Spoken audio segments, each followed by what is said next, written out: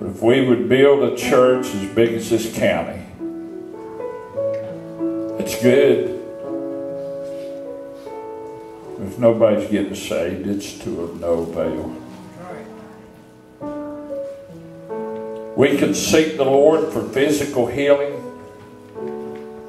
And everybody that come into our presence, we would see them healed. But if they aren't saved, it's just temporary healing. That's right.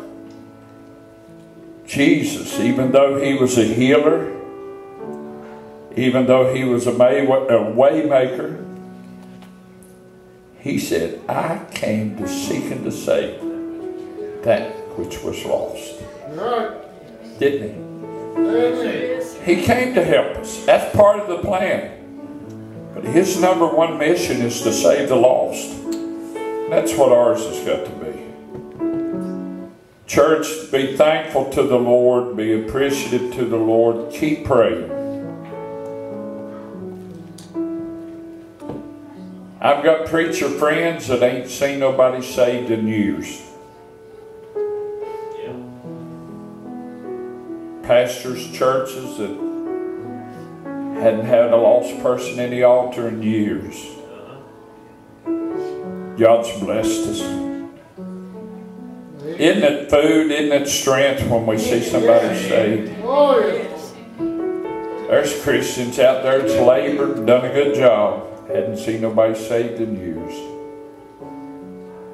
So be thankful to the Lord and pray.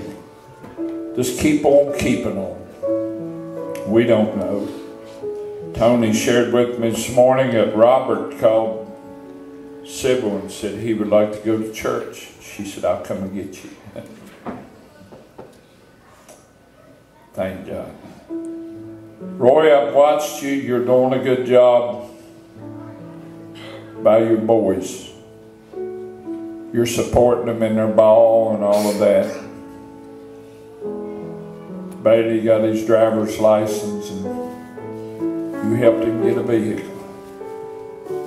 But son, you've done the most important thing for your boys this morning. Yes, praise God. Yes. You set an example. Yes. Thank God, Trevor. Amen. Amen. I'm done. Oh, what a wonderful place to be. How was that? I get up early on Sunday. I get up early every day, but Sunday morning, that I like morning time. And outside walking around, and I've been before I went outside. I've been studying a little bit, and uh,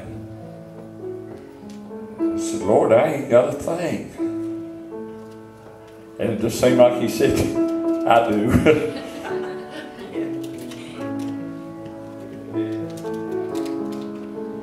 He expects me to preach because he called me to preach. He expects me to do his work. Sometimes he expects me to step out of the way and let him take over. Well, 83. Several missing, but one wasn't. Amen.